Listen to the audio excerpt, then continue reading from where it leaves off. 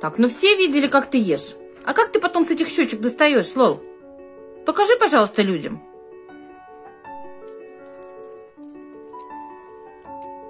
Молодец. Показала, да? Вот так, скажи, я ем. Подпихиваю или кулачком, или вот плечиком. Видели сейчас?